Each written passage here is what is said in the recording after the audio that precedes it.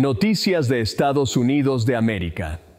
Los republicanos de la Cámara citan a Leslie Wolf, la fiscal del DOJ que trató de proteger a Biden durante la investigación federal sobre su hijo Hunter. Amigos, denunciantes del IRS habían acusado a la funcionaria de torpedear las investigaciones contra la familia presidencial.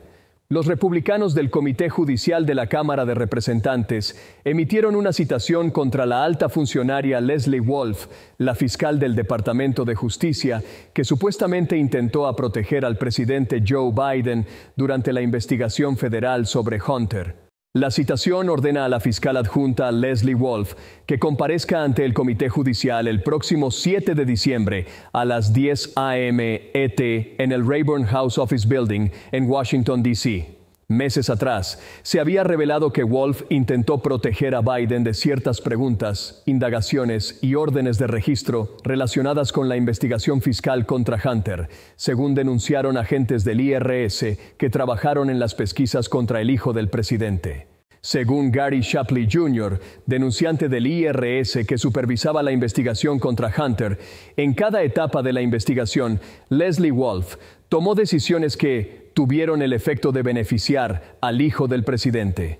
El denunciante del IRS lanzó duras críticas contra Leslie y el Departamento de Justicia poniendo en duda la legitimidad de la investigación contra Hunter Biden. Particularmente, Shapley dijo que Wolf se esforzó por limitar las preguntas relacionadas con el presidente Biden y las aparentes referencias al propio presidente como papá o the big guy en los correos electrónicos encontrados en la computadora perdida perteneciente a Hunter. Asimismo, en octubre de 2020, según el testimonio de Shapley, la propia Wolf revisó una declaración jurada para una orden de registro contra la residencia de Hunter Biden y estuvo de acuerdo en que se había logrado una causa probable.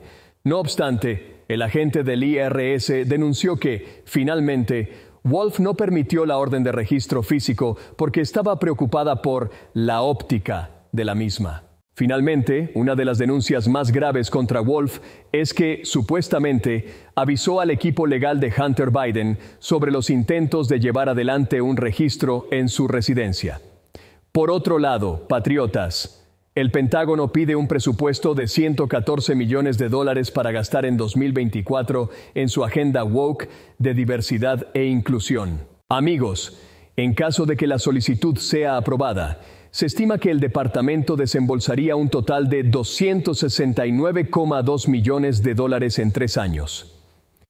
El Departamento de Defensa, DOD, planea destinar más de 114 millones de dólares para financiar iniciativas de diversidad, equidad, inclusión y accesibilidad DEIA en el año fiscal 2024. Patriotas, el plan de gestión estratégica del departamento que va desde el año fiscal de 2022 al 2026 indica que la solicitud de presupuesto del presidente para el 2024 incluye 114,7 millones de dólares que esperan ser distribuidos entre los departamentos militares, la Oficina de Diversidad, Equidad e Inclusión de la OSD y el Instituto de Gestión de Igualdad de Oportunidades de Defensa para invertir en programas e iniciativas de la DEIA.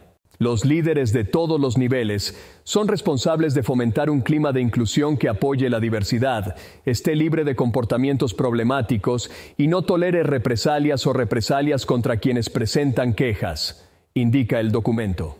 A pesar de la magnitud de esta inversión, aún no se han revelado los detalles específicos de las iniciativas de ella que se llevarán a cabo en el año fiscal 2024. Mis amigos, el enorme gasto para promover la agenda DEIA. Es importante destacar que la solicitud del DOD representa un aumento significativo con respecto a años anteriores.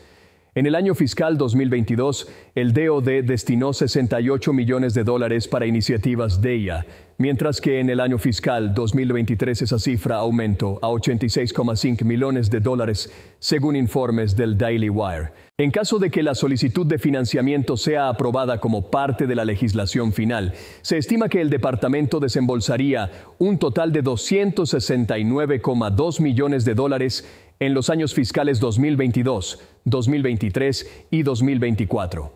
Esto representa un promedio anual de aproximadamente 89,7 millones de dólares únicamente dedicados a los programas de diversidad e inclusión. Nuestros militares ya no se centran en la letalidad, se centran en la diversidad y el clima. Eso hará que nuestros enemigos no nos teman ni nos respeten como deberían, criticó el representante republicano de Florida, Mike Waltz. ¿Y tú dime qué opinas por el momento? Entérate también que la Casa Blanca confirma que el grupo Wagner se prepara para suministrar ayuda a Hezbollah como parte de una cooperación sin precedentes. Amigos, John Kirby adelantó que se podrían aplicar sanciones antiterroristas contra quienes realicen transferencias desestabilizadoras. El portavoz del Consejo de Seguridad Nacional de la Casa Blanca, John Kirby, confirmó que el grupo Wagner está preparándose para proporcionarle un sistema de defensa aérea a Hezbollah o a Irán como parte de una cooperación sin precedentes. De acuerdo con la información que proporcionó Kirby durante una sesión informativa que dio este martes, Wagner estaría actuando bajo la dirección del gobierno ruso como parte de un acuerdo de cooperación militar entre los adversarios americanos. Irán puede estar preparándose para dar un paso más en su apoyo a Rusia.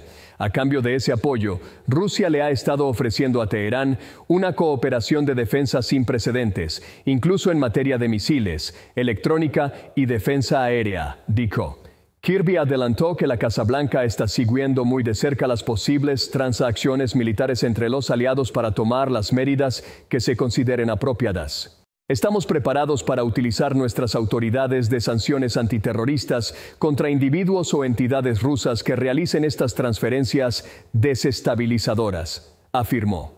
Recientemente, un reporte citando a funcionarios americanos afirmando que el grupo mercenario ruso estaba planificando ayudar a Hezbollah con la entrega de un sofisticado sistema de misiles conocido como SA-22 o Panzir S-1.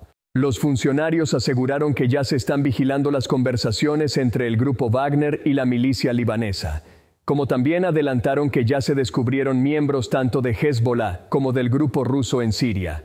Durante la sesión informativa, Kirby insistió en que la asociación militar entre Irán y Rusia es obviamente dañina para Ucrania, pero también lo es para los vecinos de Irán y para el resto de la comunidad internacional. Continuaremos utilizando estas las sanciones y otras herramientas a nuestra disposición para exponer y perturbar la expansión de la asociación militar rusa e iraní junto con nuestros aliados y socios, aseguró. Y tú dime qué opinas.